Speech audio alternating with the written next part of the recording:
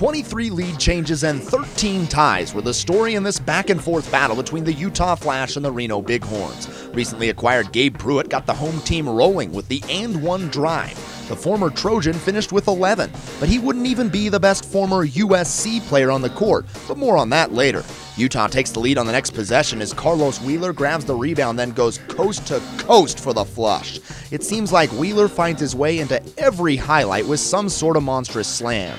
Then, as promised, it's time to give more love to former players from SC. Desmon Farmer, fresh off a 41 point outing, tosses in a few offerings from behind the line, the second coming on the sweet pass from Magic Dorsey. Six times for Dorsey and 32 big points for Farmer.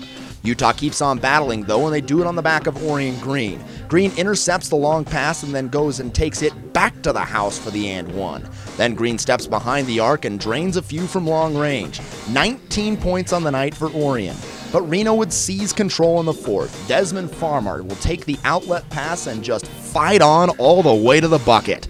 Then Russell Robinson salts it away, knocking down a few jumpers of his own. 13 for Robinson as the Reno Bighorns defeat the Utah Flash 101 93. If you'd like to see an NBA D League game in person, well, head to NBA.com slash D League, buy tickets, and we'll see you out at the game.